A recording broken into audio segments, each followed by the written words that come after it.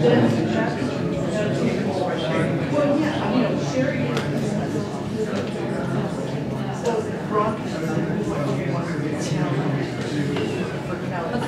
hi everyone. Thank you for so much for joining us. I don't see, you know, seems to be the people that are gonna be here are here. It's five fifteen, so we'll go ahead and get started. Okay, thank you. Appreciate that. It doesn't seem like anybody else is coming in, so we're just gonna go ahead and get started. It's about five fifteen. Um, I wanted to let you all know that there is a sign-in sheet right when you walk in the door to provide your name, contact information, anything, so that we're able to get a hold of you if you have questions, um, or just if you, you know, would like to provide that information. Um, so we're gonna go ahead. Well, there'll be time to um, answer questions after the presentation. Can you, can everybody hear me okay now? I apologize, there's no microphone in this facility, so I will do my best. Good? People in the back? Great, thank you very much. Okay. So, okay. Hello and welcome to Rural Communities Housing Development Corporation's community meeting for the Collier Avenue Apartments. We are pleased that you joined us today to learn about more about RCHDC's mission and values, who we are, what we do, and how we do it. Next one, yeah. Um, this evening we'll go over a variety of agenda items. I know there are probably a lot of questions. Sorry, one second, it's a little out of focus. You turn the, no, yeah. no, that's, it's right here. Sorry, thank you very much. We will go over a variety of agenda items. I know there are probably a lot of questions about the development, and there will be time to ask those questions at the end of my presentation. My goal tonight is to provide you with as much information as possible about the development, our agency, and staff. I will be sharing information about our development teams, our property management teams, and we'll go over some of California's desperate need for housing. I will share information about the development of the apartments, the timeline to completion, and the populations that we will serve. Thank you. Um, a little bit about RCHDC's mission, which again, Rural Communities Housing Development Corporation. Um, we provide decent, affordable housing to low and moderate income persons. These are the values that bind us as human beings and as neighbors. At RCHDC, we believe that together we can build a better, brighter future if we keep giving voice to these values and if we keep leading with facts, keep sharing stories, and move people to action. RCHDC is a local nonprofit affordable housing developer that has served Lake and Mendocino counties since 1975. Initially, RCHDC was involved in developing affordable multifamily apartment communities for low-income senior citizens, special needs groups, and families. Since this time, we have expanded by providing a USDA Rural Development Multi mutual, excuse me, self-help housing program serving Lake, Mendocino, and Humboldt counties.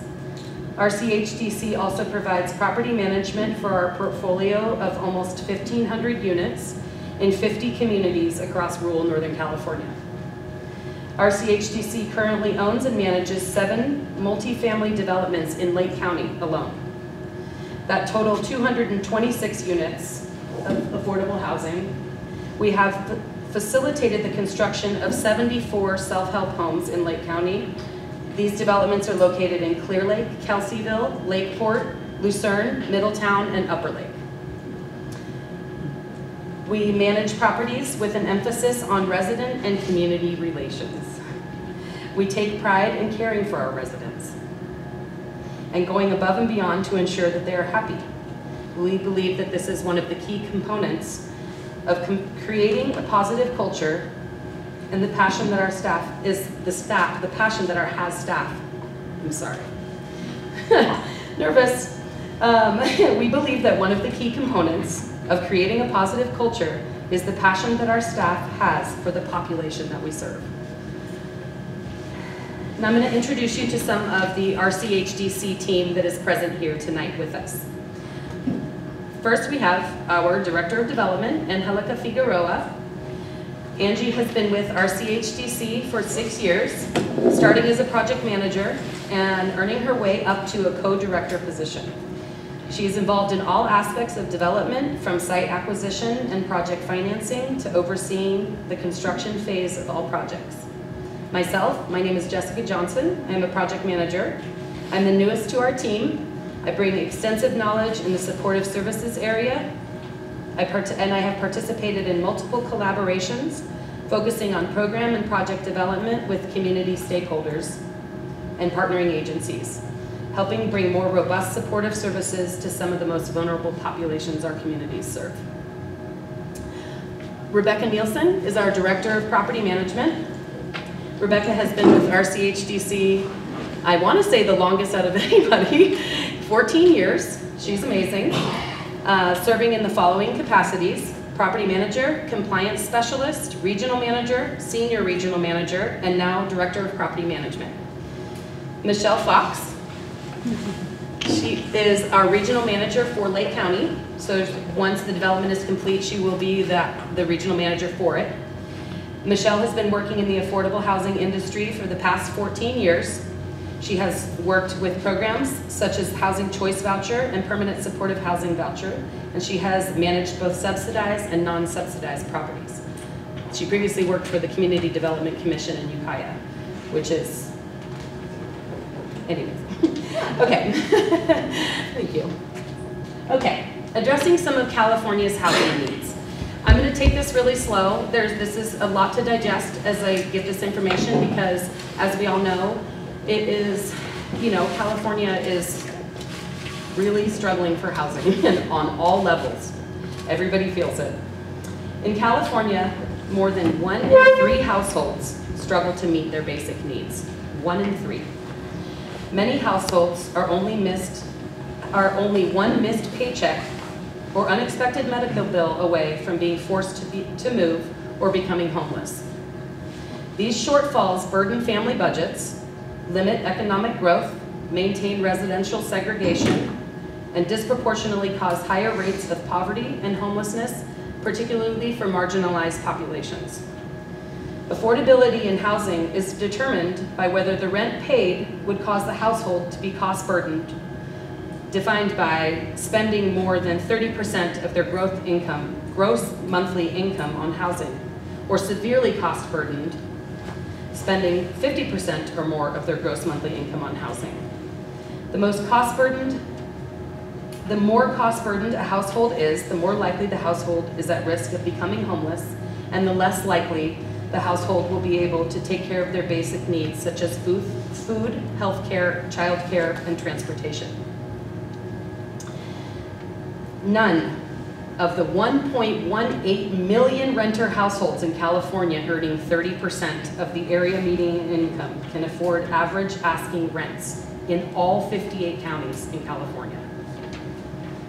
1.18 million. The top five most common occupations in California pay less than the wage needed to afford a home. The California State Department of Finance Finance conservatively estimates there are about 3 million minimum wage workers in California. Without being cost burdened, the affordable cost of housing to a full-time minimum wage worker would be $728 a month. From 2020 to 2021, the average fair market value rent for a two-bedroom apartment in the state was 20 was $2,030 obviously a difference of approximately $1,400, huge amount. To afford this rent and utilities without being cost burdened, a household must earn $6,700 per month or $81,000 a year. This translates to an hourly wage of $39 an hour. We all know that the minimum wage just barely went up to 15. California's housing affordability crisis is an acute example of a national problem. In 2021, there was no state, no state in the US where a worker earning minimum wage could afford to rent a modest two bedroom by working a 40 hour week. These are huge facts and they are all checkable. Pardon the not actual word. um, To exacerbate the housing costs in recent years, California has experienced catastrophic wildfires, resulting in the destruction of tens of thousands of homes. I don't need to tell any of you that Lake County has been particularly impacted by these fires. Since 2014, 15, excuse me, nearly three quarters of the land mass of Lake County has burned. Some of it more than twice, some of it more than three times. Obviously, there's housing units within all of that area. Multiple fires in almost every Northern California county have burned. I'm sorry, multiple fires in almost every Northern California county have burned housing units. This has resulted in a loss of approximately 25,000 housing structures in the last eight years. In 2018, the Camp Fire in neighboring Butte County burned 19,000 homes in Paradise alone. Five years later, there are only approximately 1,400 homes that have been rebuilt. In the last seven years? Um, since, yes, in the last five years, excuse me.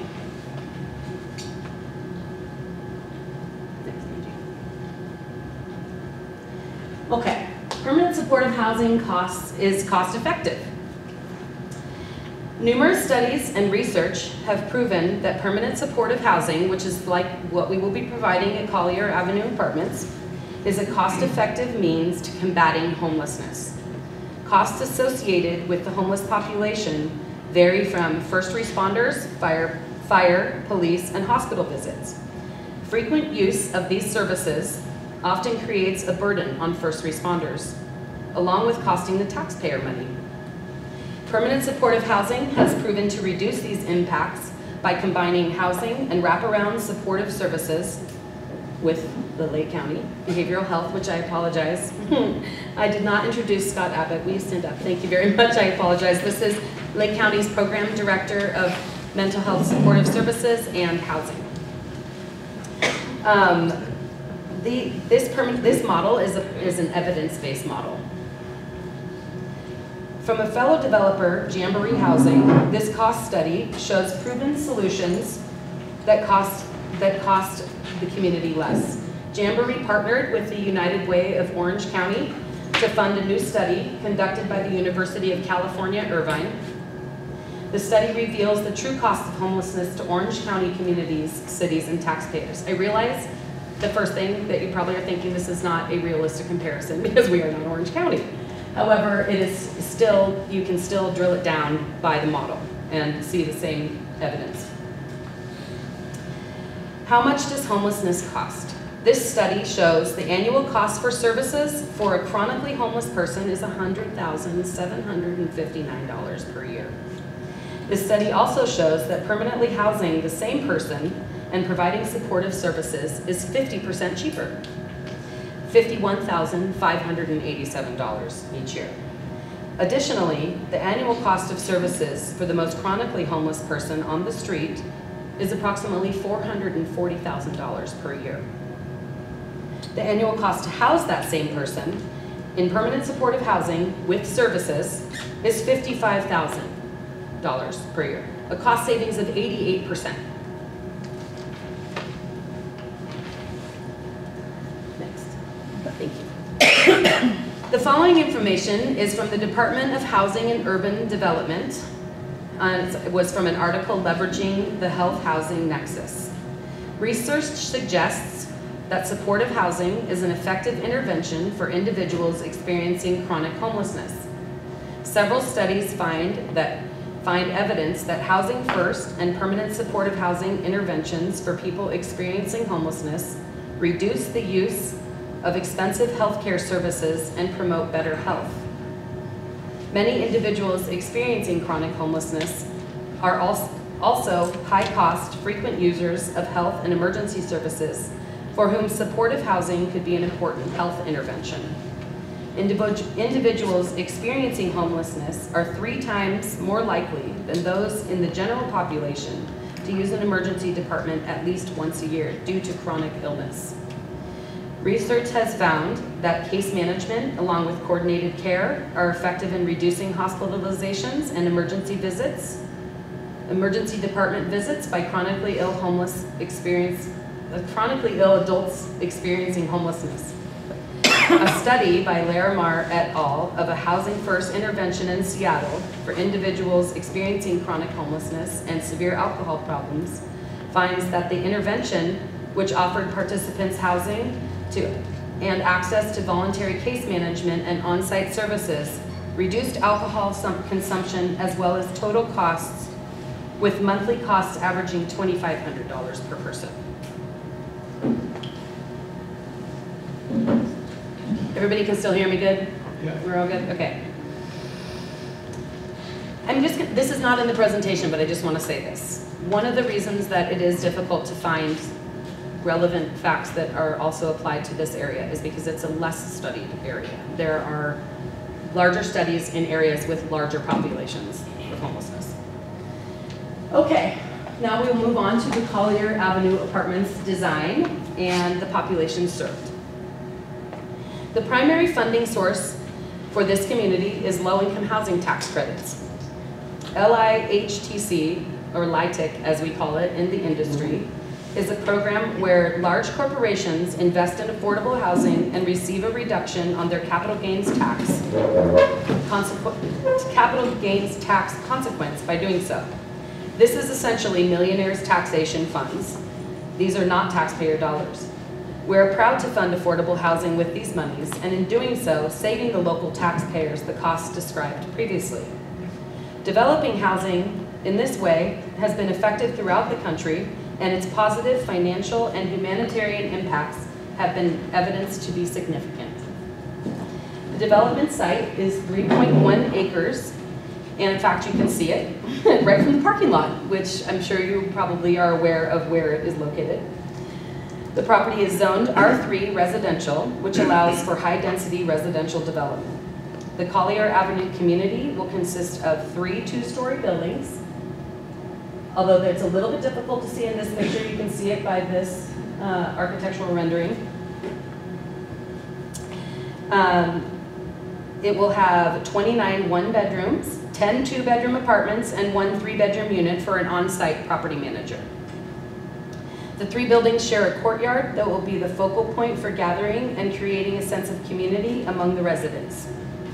The first floor of the development will have 40 ADA accessible units and 14 adaptable units, which means that they can be easily transformed into an ADA accessible unit.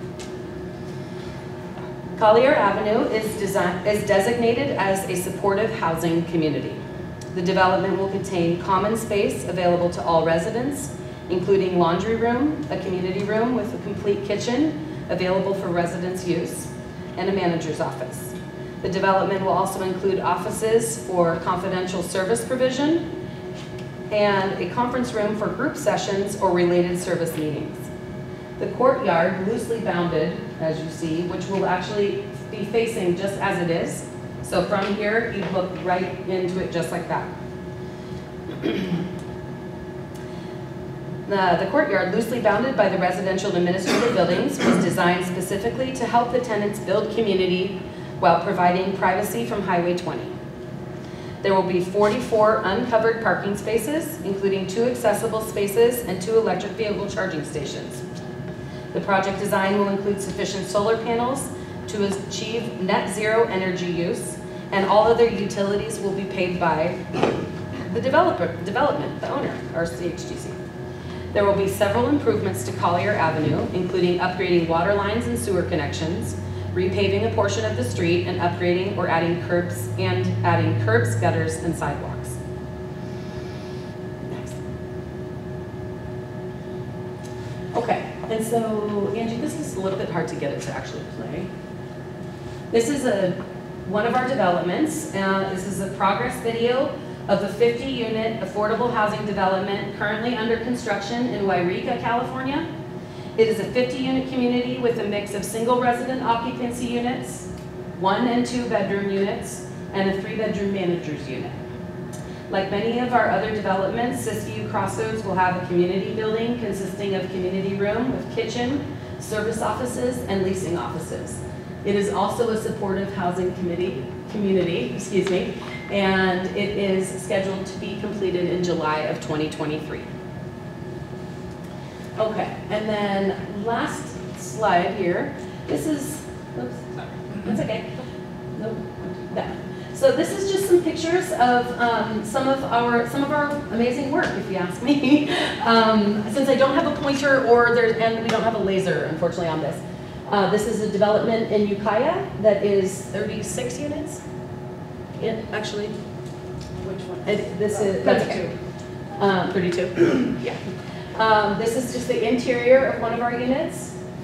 And look at my finger can actually reach. Not really. Laundry. um, those are pictures of our laundry facilities that we provide. Um, this is this last picture over here is uh, shot from one of our community rooms as they are furnished with you know spaces for people to come together, build community, um, invite their families, you know, have a birthday party, whatever it is. Um, this another development, and one of the reasons I chose this picture is because it shows the our solar panel on our community building and just the lovely way we landscape things. And then the final picture is, you know, it's kind of funny to show a picture of a bed, but one of the reasons I included it is because I think it's important for people to understand that when somebody is coming out of homelessness, they don't have a lot of items, including furniture. They don't have kitchen items sometimes. And so for our supportive housing units, those units come fully furnished for the tenants. And then the last slide. So I'm, we're gonna leave this up. These will be your direct points of contact, should you need them, um, and want to write them down. Um, emails, phone numbers, names. Uh, these are the three lovely people I introduced from RCHDC that are here. And I just want to say, we as a community are a part of a chain reaction. We can't escape it. Housing is a problem for everyone. We can only work together to try and strengthen it. As the great Booker T. Washington so poignantly said, I have learned that success is to be measured not so much by the position that one has reached in life, but by the obstacles which they have overcome while trying to succeed. And those who are the happiest are those who do the most for others. Thank you so much. I appreciate you coming.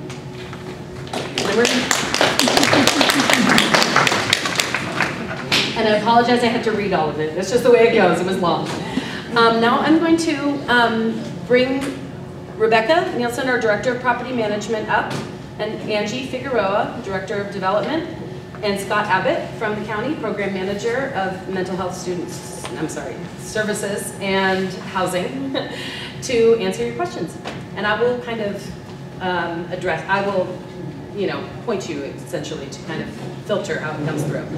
Excuse me, first question, timeline. When is this supposed to happen? Give us an idea of what you is going stand. on. Do you mind if I? Um, okay, so we have officially obtained funding for this development, so we're expecting to start construction within the next couple of weeks.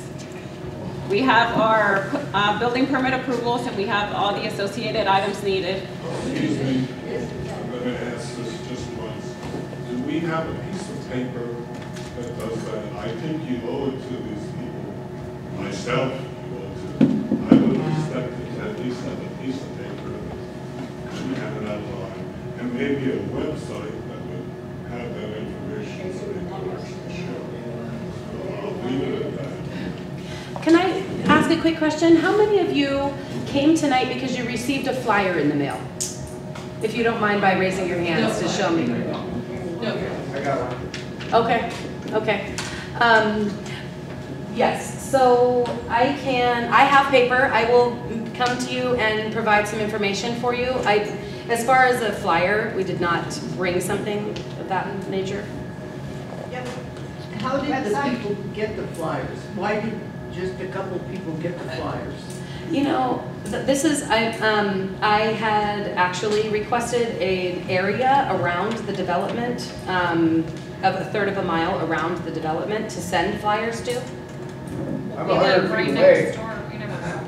I, yes, I apologize. Um, this was Saw it unexpected error. We received a list of a thousand people and it was very hard to determine who was where. Why not just send it to all thousand people?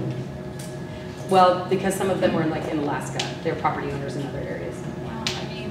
It was I'm sure advertised they would like online, to know. start at five thirty, so I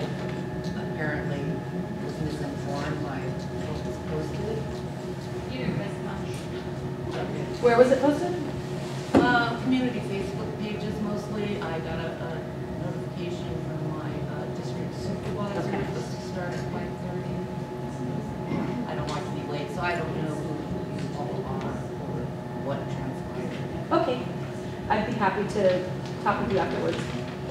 No question, um, was there ever any opportunity for the community members to be involved as far as any meetings like this? Obviously, you got the permits and the funding and the building's going in two weeks.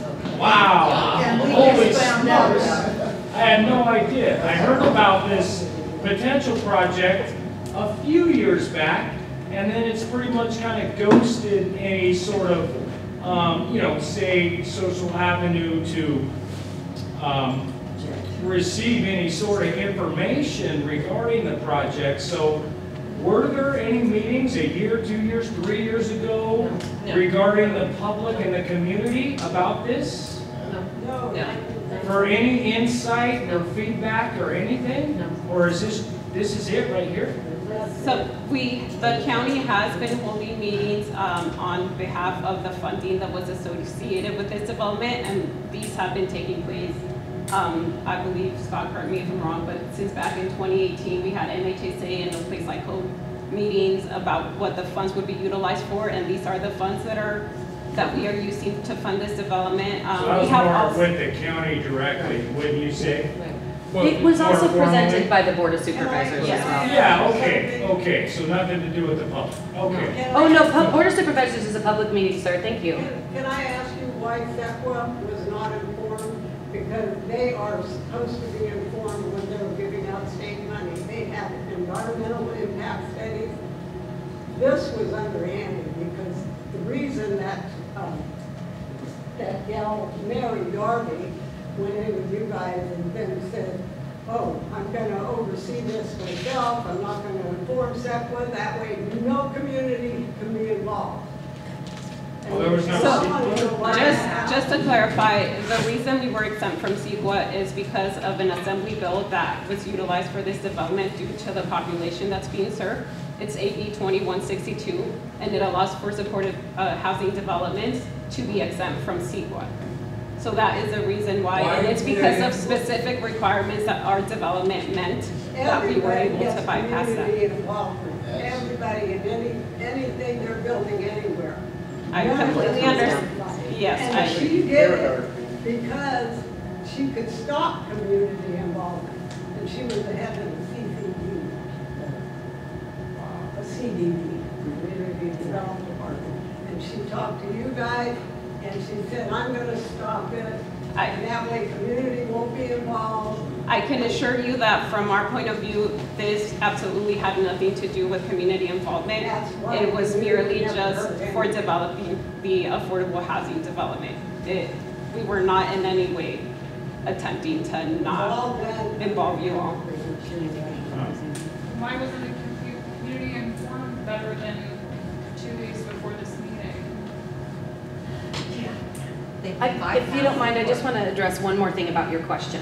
Um, Some of the processes of getting affordable housing built in our state, they have, you know, there are, um, they want it built, so they create pathways for it to be built. And why would you do it when you've got nothing but old people in the neighborhood, right across the street, it's an RV park with a beautiful mobile home park with all old people. There's only resorts and RV parks. There's no reason to have all this commotion in this one small area. And you know it's gonna be hell to pay for all the little resorts and people, old people in this one neighborhood.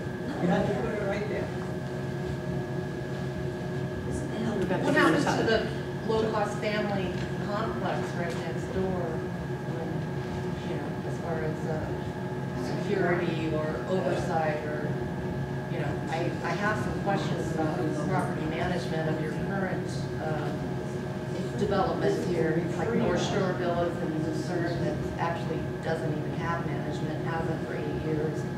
It's, uh, people, the tenants there suffer every day for lack of management and maintenance. That's my concern as RCHDC coming in and, I mean, I know they collect check every guys collect the check, you ignored all my calls to advocate on behalf of the tenants.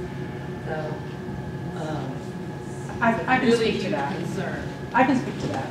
So, how what, long have you been with this company? I've been with RCHDC for 14 years.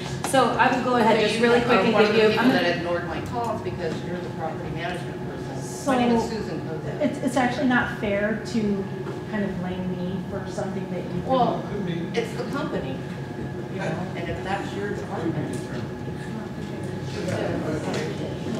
So do you want me to respond or? Yeah, I would like to, Okay. your So- response for your current management and maintenance. Well, first of all, I'd like to share with you that North Shore Villa is an independent living situation. So. If residents have. But you manage it. excuse me, I'm sorry, I'd appreciate it if you guys can um, just hold your conversations a little bit, just because it makes it hard for other people to hear. Thank you so much. So in the property, property management arena, I'm sure you've seen on the news where it's very, very, very difficult to find people that want to work these days. Every single agency in this whole United States is lacking employees, okay? For eight years? You, you, I'm sorry, For eight years? for eight years? Yeah. Actually, I been can. One year of body management?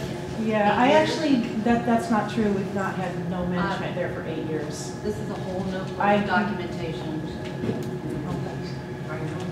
I think what she's saying is, excuse me for butting in, Yeah.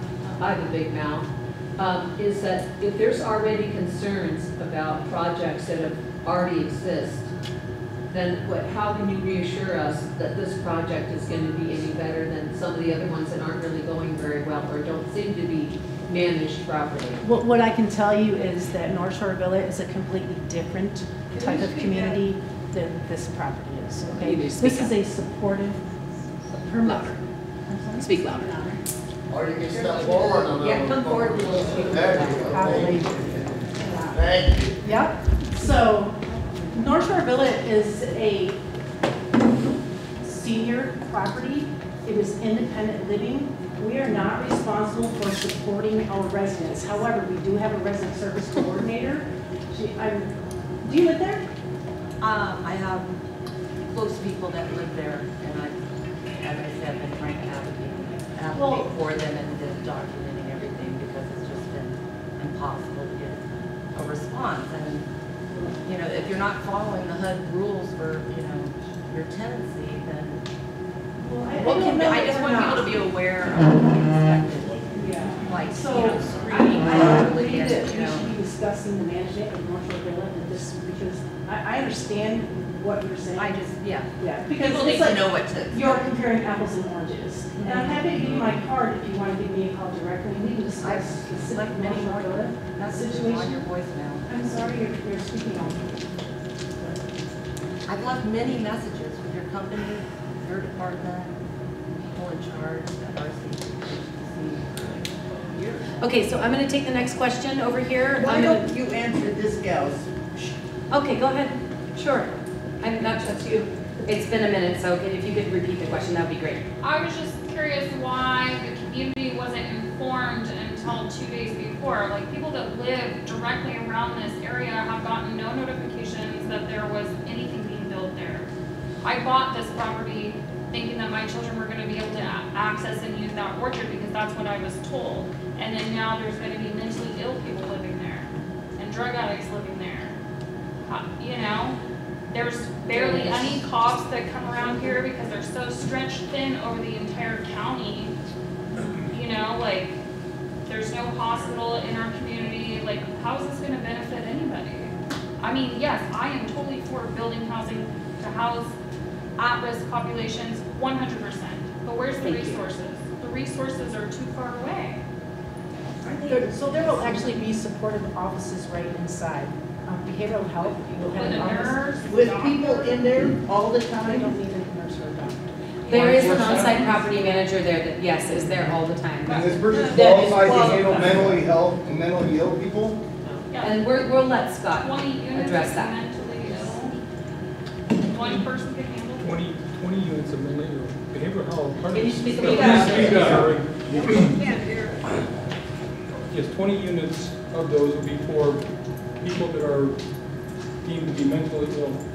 But they will be for people that can also live independently. You know, this isn't, this isn't a facility or, you know, some kind of, um, lockdown place for, for dangerous people. This is a place for people that have mental illness, mental illness that has prevented them from being able to find, find housing, you know. And you'll have staff, We, part of the agreement in, the- in this plan is that they are, this is a partnership with behavioral health. Where behavioral health offers the supportive service, you know, you mentioned this is supportive housing. The supportive part of that comes from behavioral health.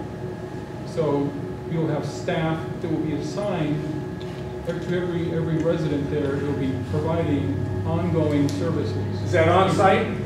They will be there on site, that's why there's, there's, there's. Well, she said property manager, that's a lot Property manager's different. gonna live there, the behavioral health staff will be, these are people's homes, so they'll be coming to visit there. But they won't be on staff daily. No. They will be coming. They don't, they don't have an on-site. They will be coming out daily. to- to work with us. They have, excuse me, they have resident, there's services offices on site specifically for uh, behavioral health to meet with their But clients. there's nobody there all day. So there's an on-site property manager who will live on the property. The property manager is not in the healthcare. Correct. Right. But they will have access to behavioral health. So they can call anyone- and say, oh, hi, I need help, can you come in within a week? They'll be there, you know, within a day. In addition, the property managers are trauma informed, if you're familiar with that term. It's a great term to familiarize yourself with if you aren't. And it's essentially understanding the populations of people that we serve and what type of trauma that they've been to, through, so that we can understand their mental health needs a little bit better and address them from a compassionate place. Um, that we have a resident services coordinator that is designated to each supportive services site and, uh, excuse me, supportive services housing development. And they help to coordinate care with other service providers in addition to the county if there's other services needed, such as substance use disorder treatment and, you know, um, access to additional health care, ride share, that kind of thing. now, the gal over here, and I'm sorry, I don't remember your name, that's going to be in charge of this, So Michelle, Michelle, yes. Where do you live, Michelle? I live in Lucerne. Okay, so you will be here all the time? No. No. No, I uh, manage, all- I oversee all the properties in Lake County for RCHDC and I have. Louder, I have three sites in Ukiah as well. So I'm back and forth between Ukiah and Lake County. But the, she lives in the same community that you all live in, that will be sharing the same community. Our, our- How's that That's beneficial? not, Our chief operations officer lives in the same community as well. So if, we're not just barging into a community that we're not familiar with. You know, we, we understand and we have also corporate staff that live right in the same community. Where do these clients come from? So they're, From Lake County. They come from Lake County. They're all in? Yes. Yes. so, so everyone that we plan to popul, to populate this property with lives in your community already. They live already in this community, not specific to Lucerne, but Lake County. This is not Lucerne. are these unhoused? I'm sorry, people? please, excuse me. Are these unhoused people currently? Uh, that's correct. And just to further expand on what Rebecca just said, um, this is a, I used to be a grant writer before I came over to RCHDC, so I have like these weird facts that I just like to spit out. Um, in California specifically, 70 to 80% of the population of homelessness in any one community is actually within, they are from that community. Their roots are in that community. They have resources in that community.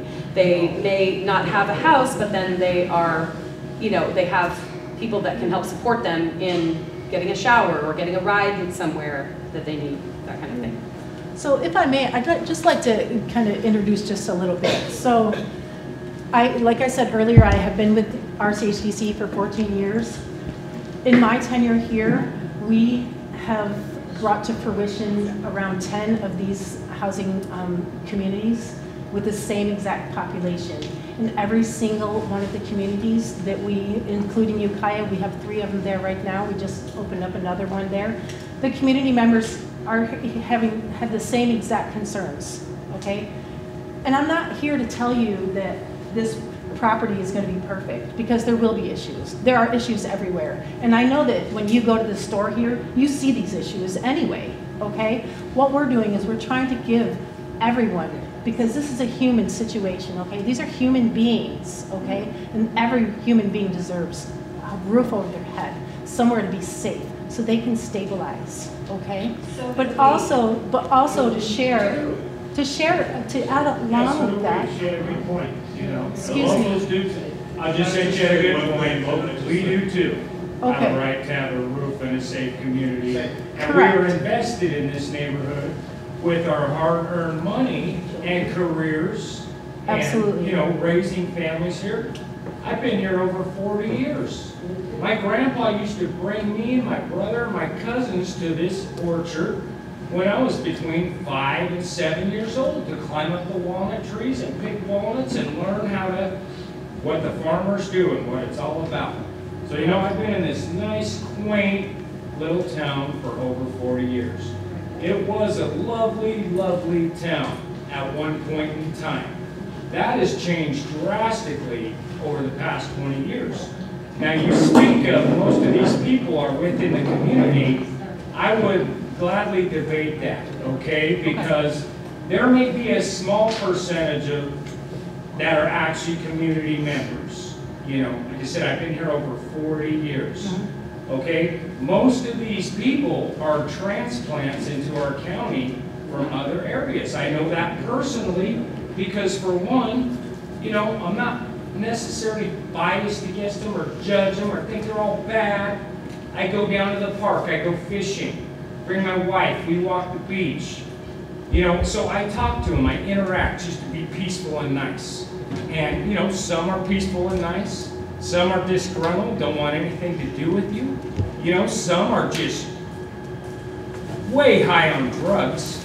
Um, so your statement about most of them are community members is, is very false, ma'am. I would just like to correct you on that based on Well, personal interactions Okay. and seeing the populace of the homeless and transients grow exponentially in just the last five years. It's been a tremendous growth.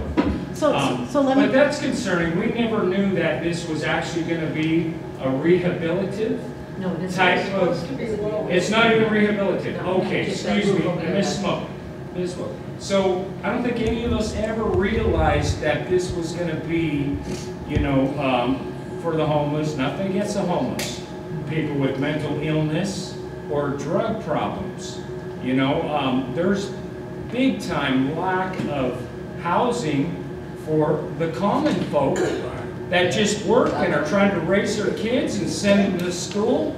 I mean, if there's an apartment for rent or a house, there's 40, 50 applications in the first two days. That's how competitive it's become around here. That's another thing I've observed over being here for well over 40 years, you know? And that's just the reality of it. So the, So, so yeah. let me just share this one thing. So, again, this, this is not our first rodeo, and we completely understand. There are three types of homelessness, okay? Those transients, those people who just have become unhoused, and those people who are chronically unhoused, okay? Not every one of them falls in this situation, but I'll tell you one thing.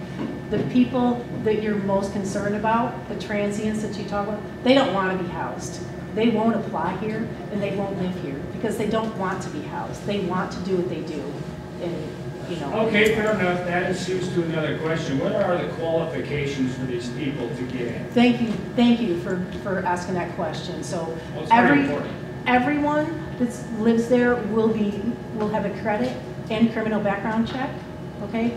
They have to pass a criminal, I can tell he's having a hard time. They have to pass a criminal background check. Anyone violent criminal background check will not be living there. Anyone who has um, been recently, within the past one year, has any sort of drug-related um, activity on their criminal background check will not be housed there. They will be rejected unless they can provide something, they will be rejected. They have a right to appeal. And Within that appeal process, they would have to prove that they've, they've um, gone into a program and that they have graduated from that program. Okay, that's uh, a little more reassuring. Sex, sex offenders are absolutely no. There will be no sex offenders allowed to live there. That's absolutely. Good question. Well, can I have one other I'm gonna- I'm gonna question? pause you, sir, just a moment, because the, our, this gentleman from the press has Oh, been here, yeah, he's had his hand raised for a long time. Yeah, oh, I did, go right ahead. I think you stated that, that there's, you have, it's not your first rodeo. Can you, can you speak a little louder, sorry? I think this, uh, I'm sorry. I- Rebecca. Rebecca uh, suggested that this is not their first rodeo. So the question is, what are the impacts going to be on EMS for this region? The impacts for emergency medical assistance. Police, fire, emergency? They will be As- as reduced. information from their other projects? Yeah. Correct. And, and what I, I, I was kind of sharing that with you, each one of our, I don't like to call them projects because I just think that Sorry. dehumanizes, but that's okay, you can call them projects. Um, but each one of these communities, they, you know, they have drastically reduced the impact. So let's just think about this. Let's just say one of y'all's family members is suffering some sort of crisis, okay? But your emergency medical can't come because they're dealing with someone on the street, okay? What about, I read um, not too long ago, there was a person found um, deceased um, in, on your street out here, somewhere in the area, I don't. Which one? There's been that, Right? Yeah. Oh, yeah, there was three over by East Market just last year, uh, from the fentanyl methamphetamine dealer, which a lot of people can attest to.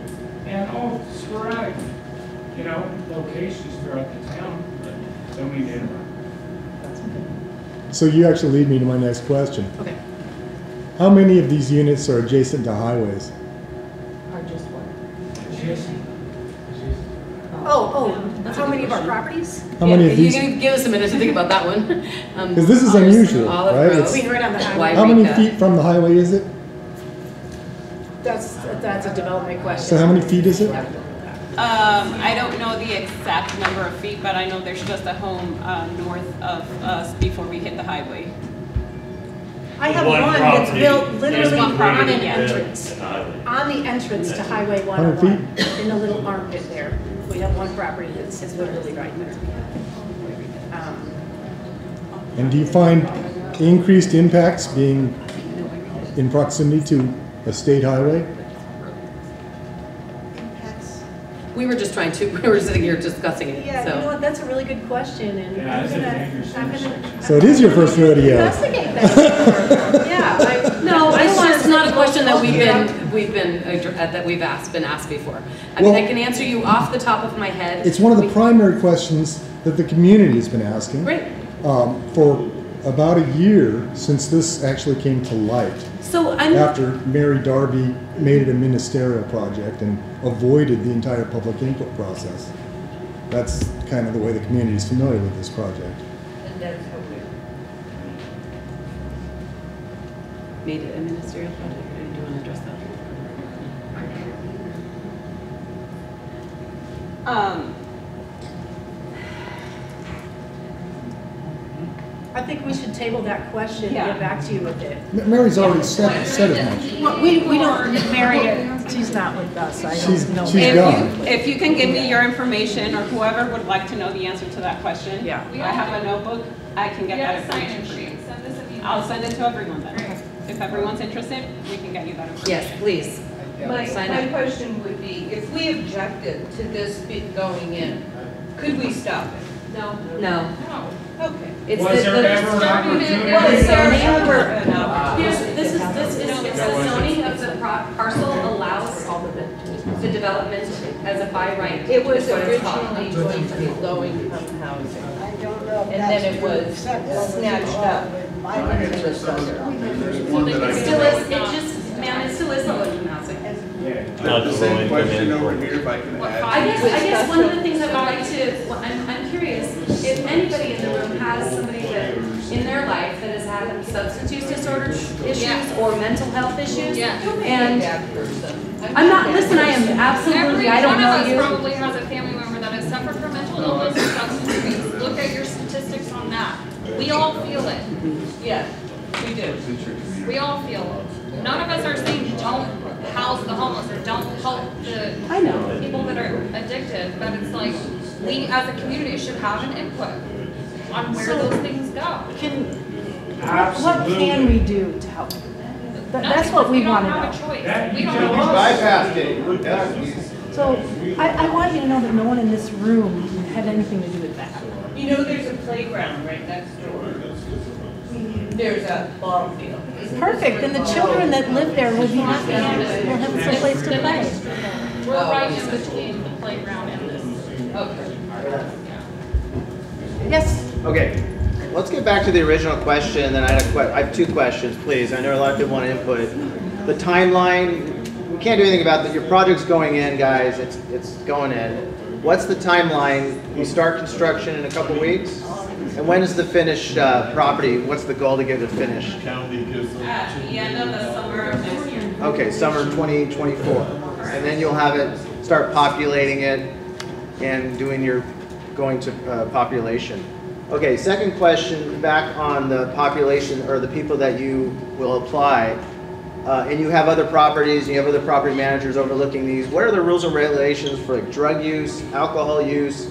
You guys allow cigarette smoking on your properties? so also really good question. So there will be no smoking in the units, no smoking in the units. If you smoke inside of your unit, you won't be housed. We have zero tolerance for that. And you have a maintenance person that'll be hired to go around and pick up all the butts and That's correct. trash? You guys are, Yep, we, so there's two different things. One thing, I, I personally feel that we need a smoking area on property, okay? One area where they can go to smoke, okay? It's contained. We're, we need to see how many people are gonna smoke because it has to be ADA compliant. There's a lot, there's a lot of. How about the drug use and alcohol use? Do you monitor that or you Okay. can't, or you can't? So we- we- That's not controlled. it's just like any other apartment. We, we can't tell people what they can and cannot do inside their apartment. But I can tell you that they can't Tell sit. not to smoke cigarettes? Okay, That I- doesn't make any sense. hold on. Yeah, well, we have a big meth use problem in this county and it's really big in East. And, uh, really bad. I'm not saying that's gonna be bad at your property, so, and, and they're right. The sheriff's department has, all we get from them is low staff, uh, extra, you asked, uh, we had a meeting recently, a lot of you were there, and they asked for extra patrols, it's nothing really, I was trying to just communicate to the community. I asked for an extra patrol yesterday, and the dispatcher was rude to me, trying to argue, this has nothing to do with you guys, I'm just telling you what happened with me on this issue.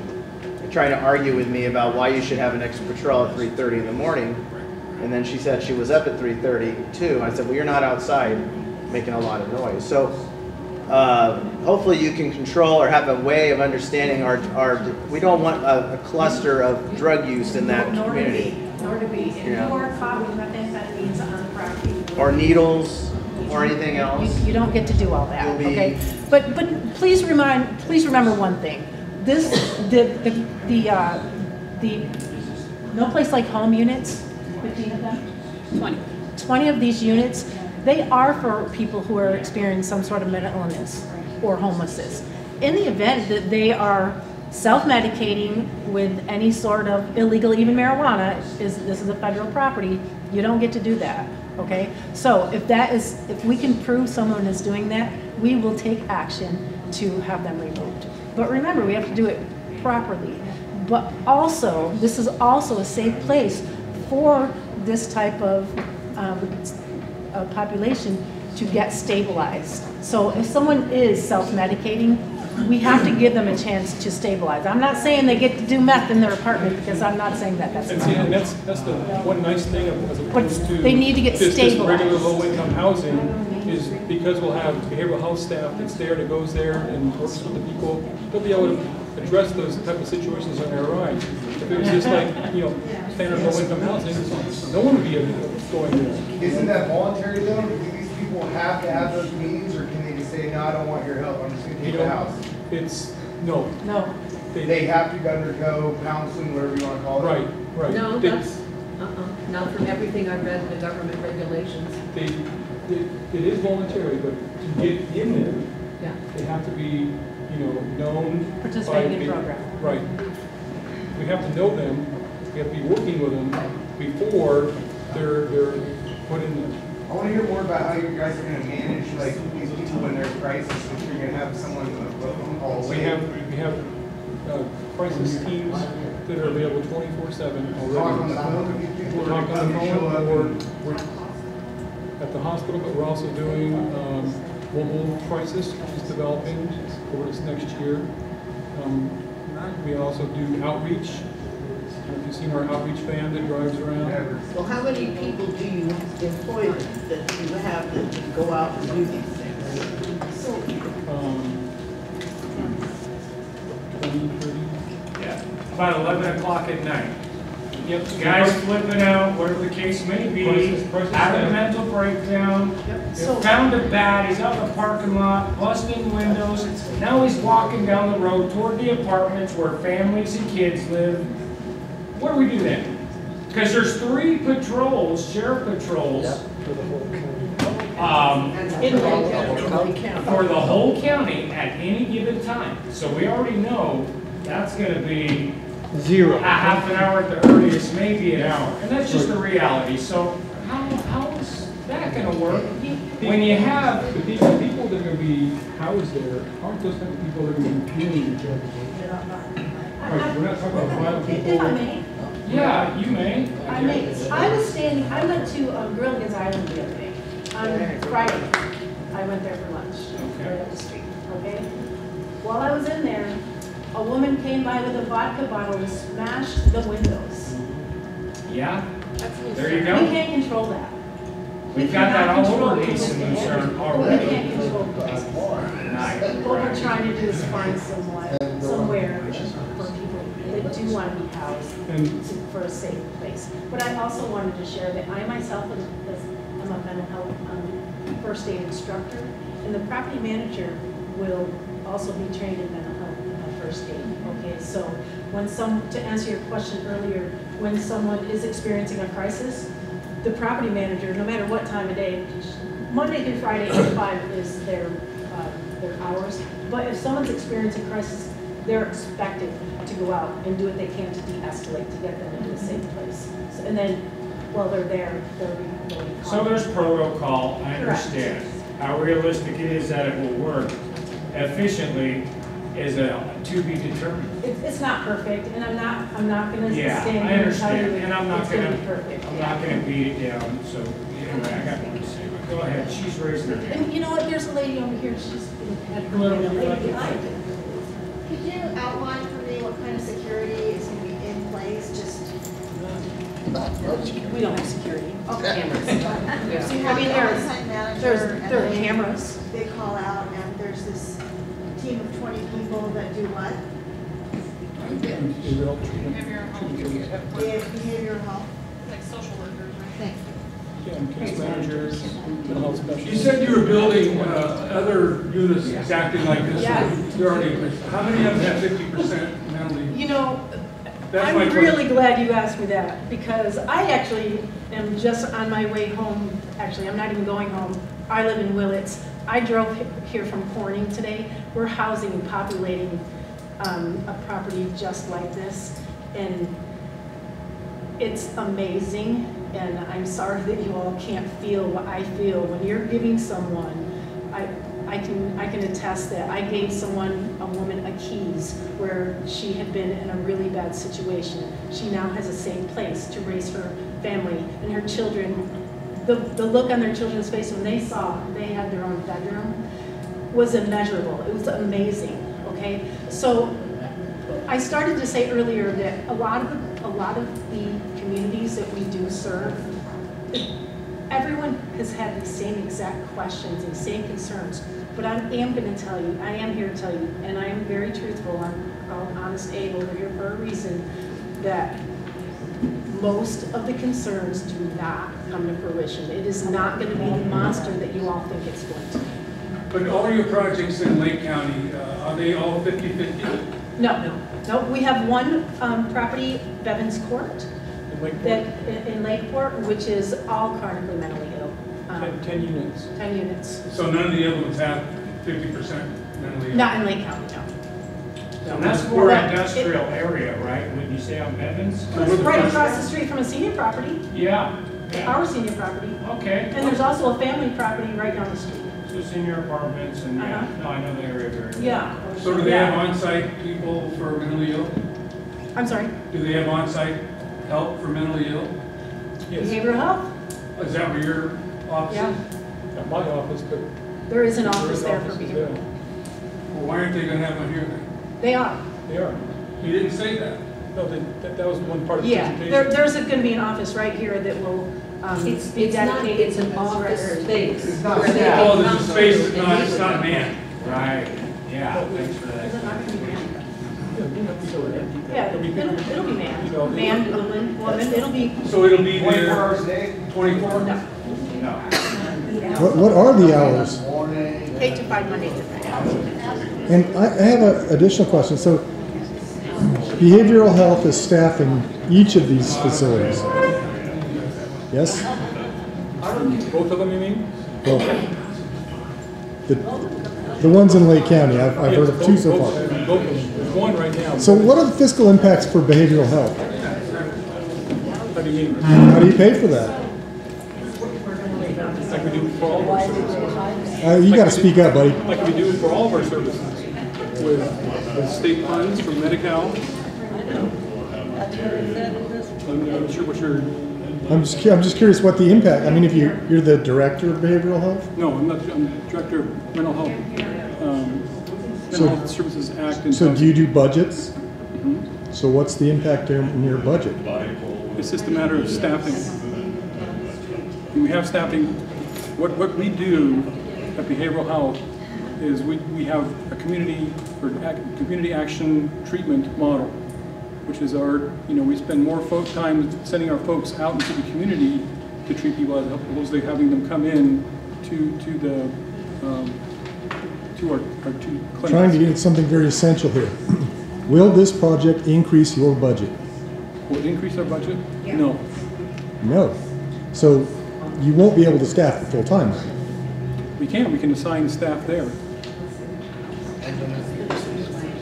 But what about the other facilities? I mean, you see what I'm It's, it's, saying? the- remember, the clients that are, that are gonna be living there are already exist within our system.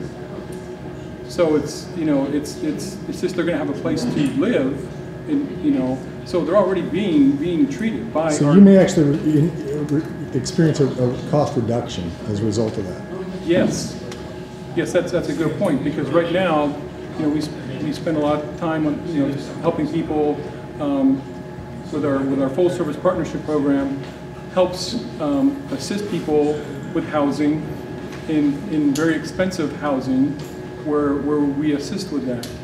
And so this would, you know, because this is low-income housing, which is, as you know, short in, in Lake County, um, it's a place where that would, that would definitely save, save money.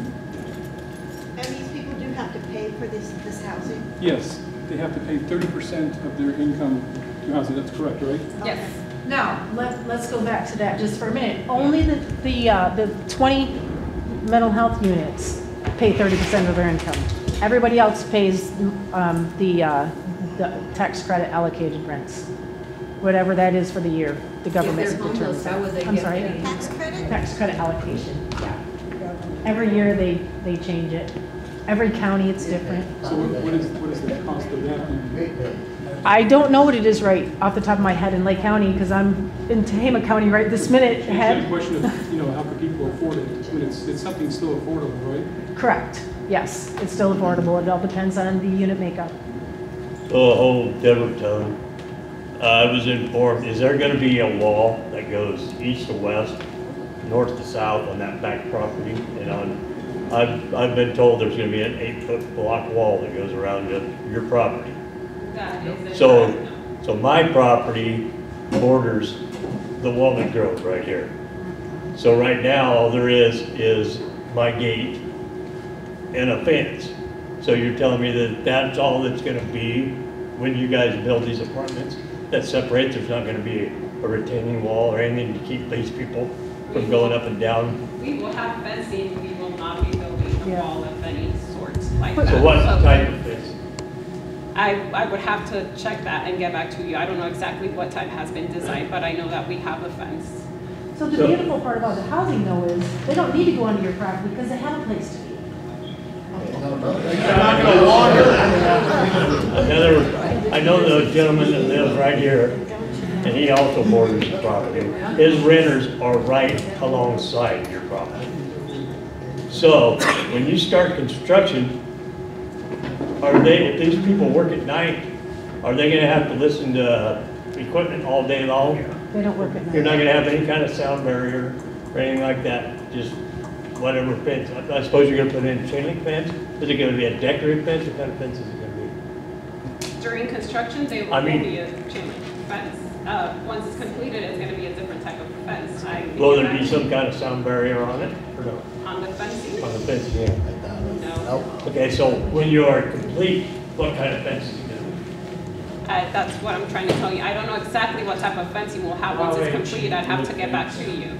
Well, yeah, well, let's, let's talk about that. If that's something that the community is interested in, maybe that's something that we can look at, you know, in the Well, just put yourself in his shoes. I, I At am. your beautiful place in Willits. I totally am. Now, this No, I- place I is don't have a beautiful up place in Right next to your house, That's right. adjacent. Okay, so put yourself in issues. I, I understand his I, I, I perspective. totally am, and that's why I said, well, let's figure out something, if that's what, you know, we're looking at, let's, if we're gonna build a fence, let's figure out What about the what kind creek of fence that would be runs best. right through that? I'm sorry? What about the creek that runs right through that property? That's a We question for won't be building anywhere near that. uh, So are creek. you We staying have a east of the 50 foot creek? Yes, we're staying east. We have a fifty foot setback from that creek. So you're staying fifty foot this way from the creek? So you're not gonna be on that side of the creek? So will there be a fence before the creek or after the creek? Where do you want the fence? On the east side of the creek? Do I have that input? No. Yes, You you can do. provide that input. That's what, Yeah. that's why we're here. What is? Well, I have a cul-de-sac there right now. It'd be nice to still have a cul-de-sac. I, I'd like to write that down, just so I have kind of. Yeah, I mean, if the fence is on the east side of that creek, great. Rebecca, did you ask, did you answer the woman's question? Did you raise your hand? I did. She's the postmaster, she wanna know what our post office And was. the stronger fence you can put in there, the better. Right, Don? Yes. So, a fence on the east side. East side of the creek. I know Because there's when a you're building that, I don't want people, because there's gonna be traffic trying to come in through there. Just to steal all your guys' construction shit, for one thing, and that's what's gonna happen. Oh, yeah. They're gonna try coming in there, and they're gonna try stealing any goddamn thing that ain't locked down, bolted down, or tied down. And I don't want them coming through my property. I don't have a big chain link, you know, stop anybody and everybody fence. If I need to put one, I can, but you know, but I think you guys, I would hope that you guys are gonna have some kind of uh, a defense barriers while this stuff's going on, so we don't have to worry about people coming in in the middle of the night. They'll down have to, but that, that doesn't matter. That's not gonna stop people from stealing, you know that. We live in the same town. Better than that, yeah. There are a couple people that have had their hand raised for a little bit and put them down, so I just, I know that you guys, yes, well, that's why I just want to make sure that they get the attention they need. Yep. Yes, please. Me? Yes. Thank you. Well, um, I just want to say that I'm in support of your project. Um, I think it's a great idea to help, uh, the community. We're talking about senior citizens that need housing because they don't have a lot of money to pay for their apartments, uh, with the rent as high as it is. That's such a wonderful thing. We have senior, um, we have such great services for our senior community. Um, I think the park down there, somebody mentioned, would be great for the kids. Um, You know, could maybe change the atmosphere around here and maybe we can have some baseball games for the kids. And I also hear the concerns that people are having, you know, your fears. You know, what kind of people are these that we're, we have to deal with and all the stealing and the drugs and um, And, and a resource coordinator is somebody who can come in and provide these people with the resources that they need to get help. They might have uh, an AA meeting. The church up here has had AA meetings and NA meetings. And so it's a, it's just a huge, it's gonna affect the community. And hopefully it's gonna be something that's really positive. So I'm just really proud of you. I'm, I'm just so glad you're gonna do this. And I think once everybody gets over being afraid of some of the things that we have in our hearts, that you'll probably like it too. I think it's a, a good humane gesture, definitely. Um, think a part that bothers a lot of people is it, it kind of feels like a sneak attack, right? So I just got notice online by fluke, I just saw it, about this meeting regarding this. Right. I heard something about development years ago. It had to proceed three to four years ago. in Hearing about this. And then all of a sudden, we have this meeting, two weeks we're breaking ground. No secret review, no community involvement other than this, which is basically, hey, it's happening, people. That's it, that's that. What kind of questions can we answer to make you feel better? You know, that's really kind of the reality of it, being realistic. And I can see both sides, the humane side, that's all great and fine and well. There's so many humane issues in this county, this town, every town around this county that need to be addressed. This is,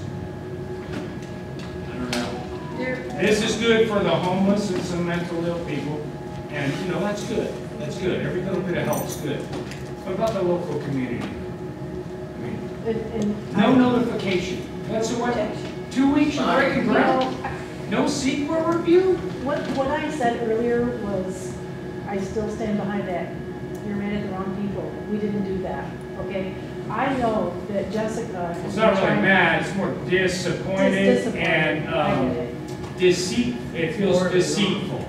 You know, ethically and morally, the way it's going about doesn't feel so good to us. On the other projects, you notify people? That live. Or- So, I'm not part of Let me know, Who would, because who would have notified? people? Justin mentioned a That's her? question, a couple other people. I want to address what you're talking about, because that's the same issue we had with the Deputy Secretary of Behavioral Health that came to the Rural County Representatives meeting that I had in Sacramento about three weeks ago, talking about this very thing. Counties like Kings County, Alpine County, Calaveras, Inyo, uh, Tulare, Lassen, and Santa Barbara have these same projects where, because of this AB 2162, puts it in a position where local controls out, you know, we don't. It's there's no gone. local- Yes, and so that's the frustrating part, and I- it's not necessarily them that, you know, Right. that did it, it's the circumvention of local control. That was our biggest issue. Um, and so in talking with Lynn a few times, the biggest thing that, we- that I've tried to implement is ensuring that there's, there is like a shall or a mandate or something of that nature for mental health services on site. And so, uh, so just letting you know, it, it is frustrating when there's no local control like what you're talking about. So it is understandable for the community, and that's why they're upset, because it, because it feels the way it does. But other counties say, are saying the same thing. They're, they're upset, especially, uh, my colleague Doug Verboon, who said, we're getting hammered by the community because these things are happening and it's out of our hands. So, just giving you that insight. Thanks, EJ. The state, Maybe AB two one six two. So it's a a- loop. I got question. I, I just want, Is this the only one that's going in now that we know of, or is there gonna be any more surprises? We, the one No more going in- surprises.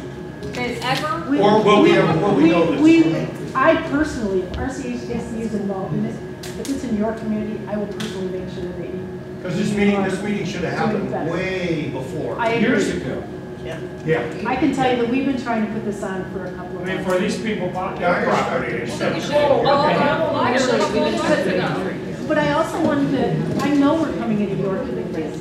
That's the right And thing. what we, what we want to do is, we want to hear you, what can we do? The fence, that's a solution. We want to help you with that. Please, please share with us anything else that we can do to help you. No, Yeah. I can't Will you be that. using local contractors, or how does the contracting portion of the work work? Yes, the lo, we have a general contract, contractor that we utilize and he does, uh, use local contractors. I don't have that list with me of who he has. Oh, he's a local general contractor? Um, he's project? not local, but he, what, we've used him in other pro, uh, developments in Ukiah and the surrounding areas, and he always, uh, works Where's with he local from? contractors. Just curious. Eureka, Eureka. Okay, okay, because I'm a contractor in a different field, and I've gone after, um, projects like this for my company, my employees, of course, right? And I didn't have a snowball's chance and this is from experience, I've been in the trades 27 years. I own a contracting specialized service business, in Lakeport.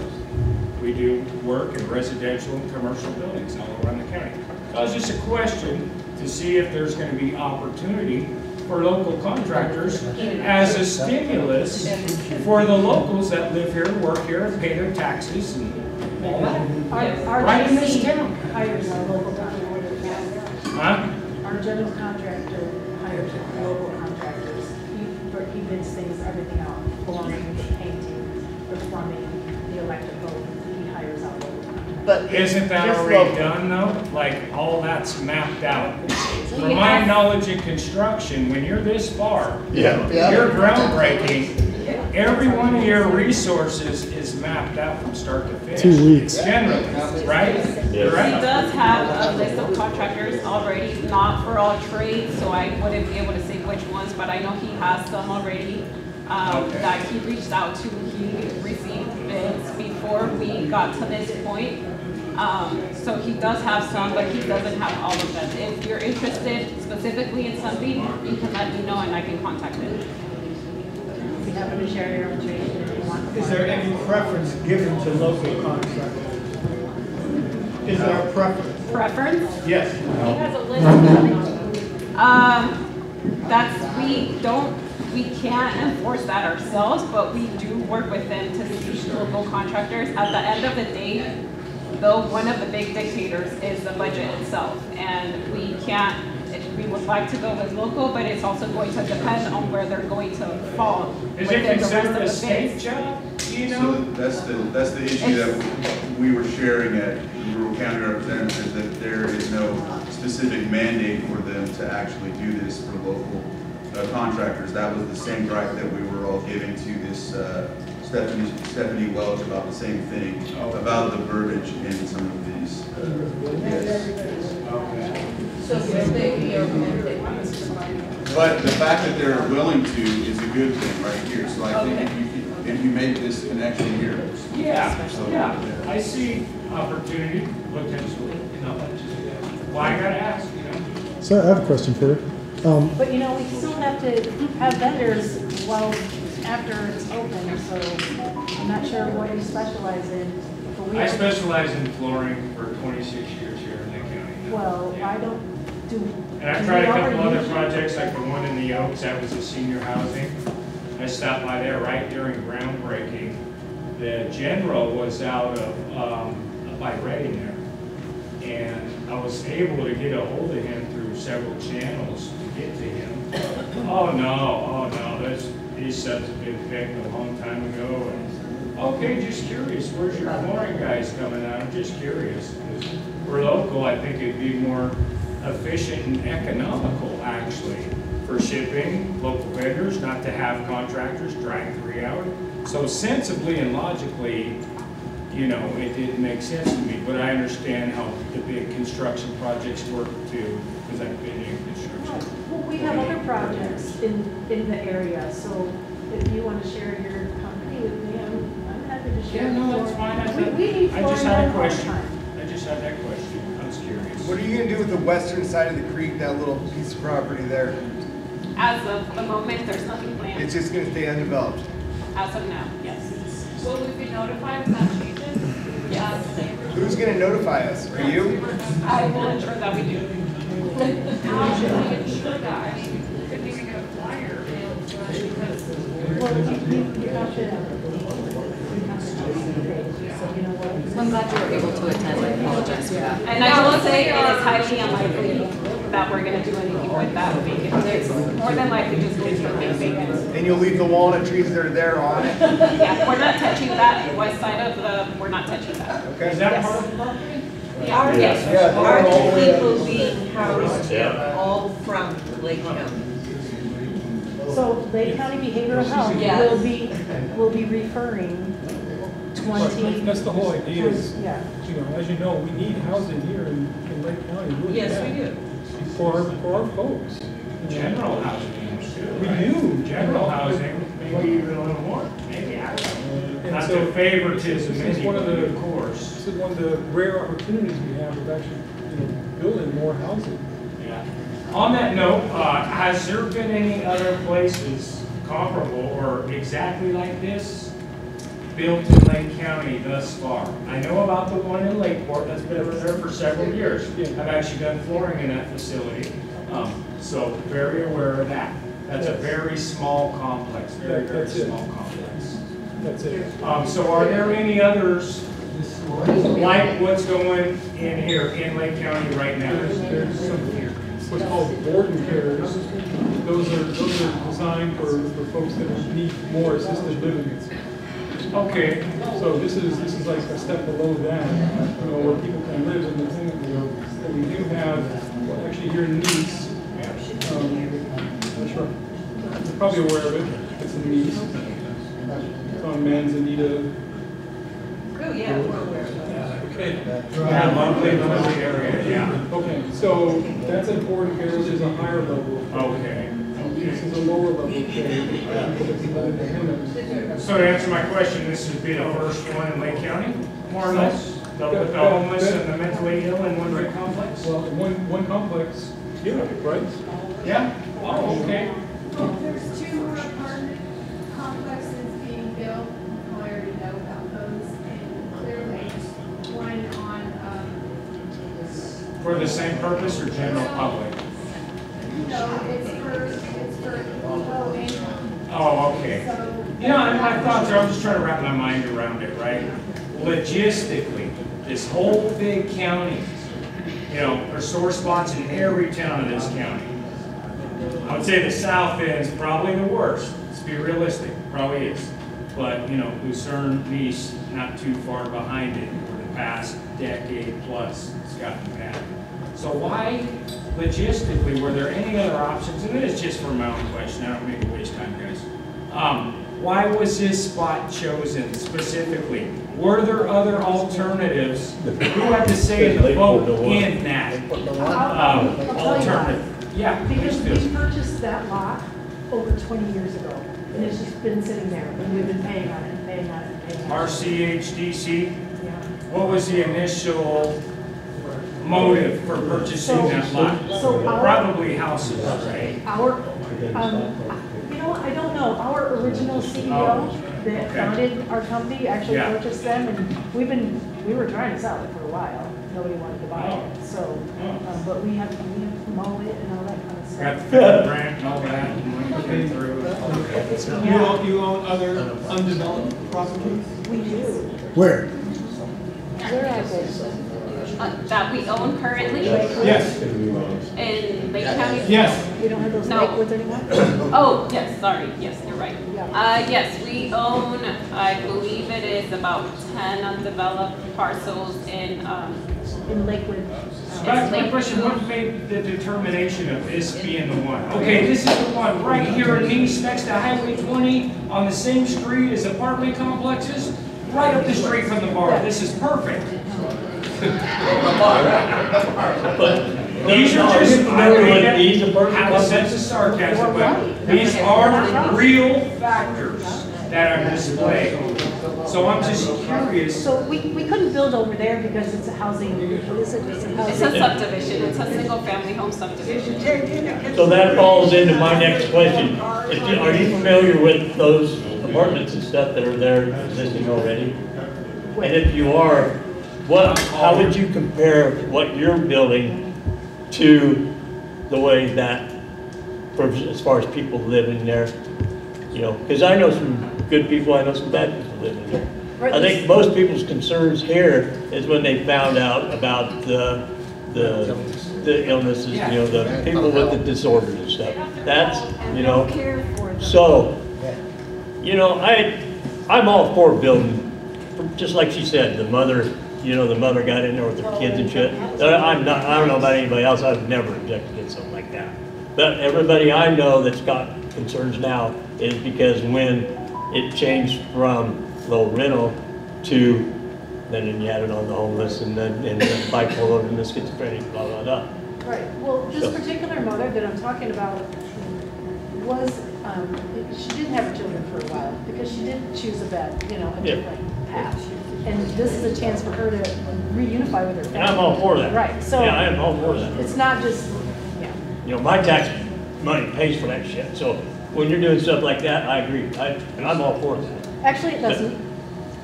Not for the housing part. here. No, the millionaire's tax paid for it, I wrote it down. Yes. Yes, yes. That's what makes this So the millionaire's good. tax pays for these kind of facilities in a destitute town that's already run down with major drug problems and homeless problems. If you're That's getting the any kind of reality. tax. But I understand the humane aspect as well, and I can respect that and appreciate that. But, um, gosh, the way you guys have gone about bringing this project to the table is way wrong, beyond wrong. You don't have to apologize. Well, Did you do it all by yourself? No, I didn't. No, but- there were several people, right? But So, I have passion enough. I'm not mad at you, or her, or her. But I have passion enough for you. But this process and the inconsideration for our community with any notification or consideration of the welfare of families and kids and people locally. None whatsoever. You know, that's, and I'll be honest, I'm pissed, but I'm trying to be calm and respectful and logical as well, you know. I just saw last week on my computer, oh, well, meeting about, what the hell, what did this come about? Oh my gosh! I built a property in Lakeport two years ago. Fortunate enough, my wife and I worked 17 years to save up to buy our property, to build our warehouse and our store. We worked our butts off. Well, I had to go through a CEQA review, a biology report. They wanted to see if I had red-winged blackbirds on my property and my trees. And if I did, that would have inhibited me from building there. You know, so I, we went through the most scrutinizing process of just being able to get to where we finally got. Yet, you bypass all of that. I'm just, gosh, it's just so unfair and not So, right. You see let me what I'm share saying? this with you. Uh, Let me share this with Okay, you. okay, I'll pipe that. When I came here, when we all came here, we didn't come here thinking that this was gonna be a fun party, okay? But you know what, we all stepped up to the plate because we knew that it wasn't gonna be a good time. We all were angry and concerned. We had two options. We did not have this. I don't see your point. My point is, we came here because we, we care and we wanted to do something for your community. Because we didn't have to have this. Oh, We could have just started groundbreaking. Real estate. You're going to anyway, it doesn't really. I'm sorry? I feel like you're, had this property for twenty years, you couldn't unload it anywhere, and so this is the opportunity. Let's get them, let's get the government involved, let's, you're ruining You our grant, you have a lives. grant from. I'm sorry you feel that way. I'm sorry you feel that way. We have no compassion. What about a hundred more cars You on don't our know me if street? you think that. Did you think about a No, I'm not here to our be street? beat down, so. Lakeshore Boulevard right here with all the. How many uh, special, you said there's gonna house some special needs people? What kind of special needs are we talking about? Like, is it gonna be people on the spectrum or, uh, like my son's autistic?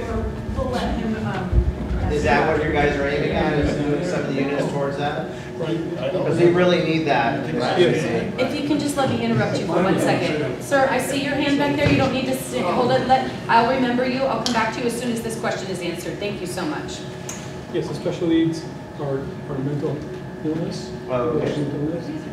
There's also, um, for people that have developmental delays, such as people with an autism spectrum, will also be included as well. That's a good thing, because uh, there's housing needs for young adults with autism or on the spectrum is needed. My wife has a non-for-profit in this county called Vision Hope Village, and our aim is to create housing for kids with that, uh, on the spectrum and other disabilities. So if that's part of the plan, that's a great thing, because these kids are, their parents die and they don't have any place to go. We do have 10 of the units that will be set aside for individuals um, or families with developmental disabilities, and they will be serviced by Redwood Redwood Coast Regional Center. That's great. Thank you. Okay, Lynn? Thank um, you. I have a kind of longer term question. Okay, so part of the funding that you guys are getting is based on having half the units be for special, you know, addicts or homeless mentally ill, whatever.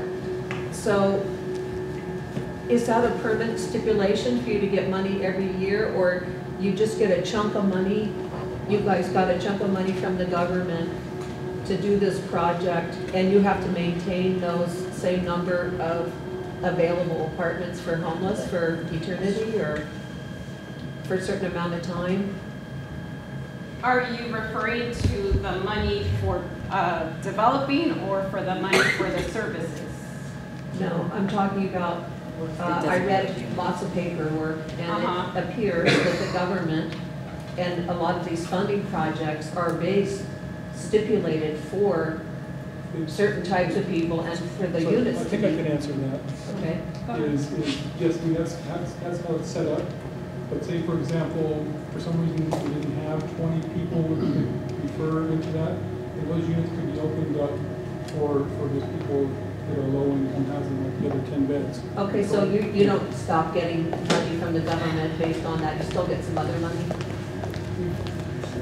You We get the, we get the money for the, build it, Okay, so basically that lump of money was for building it, not necessarily for maintaining I a don't certain know how number of maintaining works. I mean, I know how the services work, I don't know how maintaining, how, how The, that functions. the maintaining of it would just come from operations of uh, rent being paid for the development. I mean, legally, Yeah. you know, is there stipulation that you have to have always at all times have the people be mentally ill or drug addicts?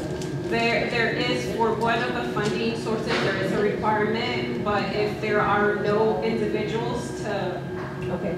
be housed, and then it will be open to anyone that is low income. Also, you said, you mentioned twenty people that have mental illness, but in the paperwork it says, uh, addicts or mentally ill, homeless or at risk of being homeless. So can it be a mixture? Can you have, um, twenty mentally ill people and no drug addicts, or can you have, you know, seventeen drug addicts and three mentally ill people? How does that work? There's nothing in the paperwork that says anything about drug addicts. We will never- Just seven. No, it does, it does say that in the, um, I, I don't have the paperwork right here, but no place like home, or whatever it's called. In that government stipulations, it does say, you know, you can't hold that against them. And if they start using drugs, you can't evict them for it. If people don't use, take their medication, you can't evict them for that either. It's in the government Well, I'm here to tell you that I've overseen multiple of these properties, and when someone's using, actively using on our property, I do evict them. And uh, we have attorneys that do the work, and we've not, I'm sorry? That's right, because they've made that choice. They've made that choice. Okay, now. Yes, sir. That is a good point. Yes, sir. well, yeah. There's a lot of concern regarding the lack of police present. If you truly made the statement, you're here to help us and want to do something, you would start by increasing the police presence by funding an additional patrol person or in the county, either through your company or the corporation that's funding this or something. That, that's a really good ask, okay? So let me write that down and see if there's something that we can do, because I, I know there's some. Because you're doubling, tripling the density that we have right now. I'd like to take you up on talking about the fence, and just how can we arrange for time to do that? I'm gonna give you my phone. Oh, there we go. She has a card, and If she can't reach anybody, how are we supposed to reach? So I'm just gonna call and I'm gonna leave a number, we're gonna get a call back. Oh, exactly. Maybe she didn't work it.